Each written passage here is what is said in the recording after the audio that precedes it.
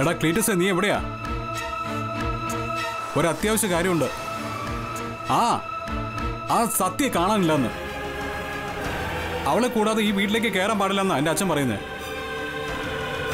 ഡാ, പെട്ടെന്ന് പോയി കണ്ടുപിടിച്ചോണ്ട് വാടാ. പോണു.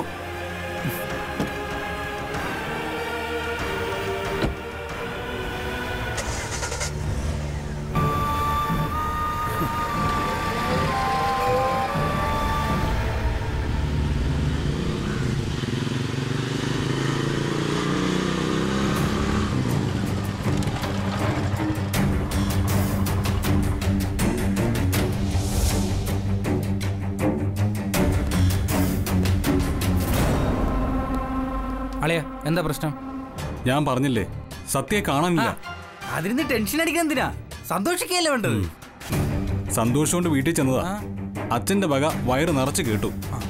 അവളെയും കൊണ്ടേ വീട്ടിലേക്ക് ചെല്ലാവൂന്ന് താക്കി നിന്നു വിട്ടിരിക്കുക അതിനെന്താ?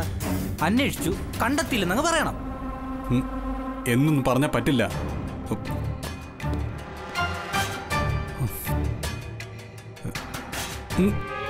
Phone switch ഓഫാ.